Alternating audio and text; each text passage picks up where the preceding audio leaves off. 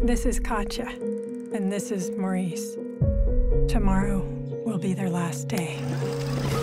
They will leave behind hundreds of hours of footage, thousands of photos, and a million questions.